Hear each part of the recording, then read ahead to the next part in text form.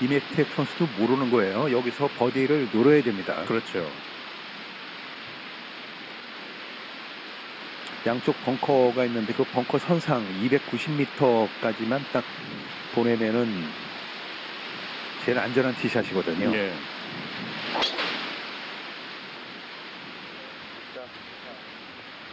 오, 네, 괜찮았어요. 1.49의 스매시 팩터. 네.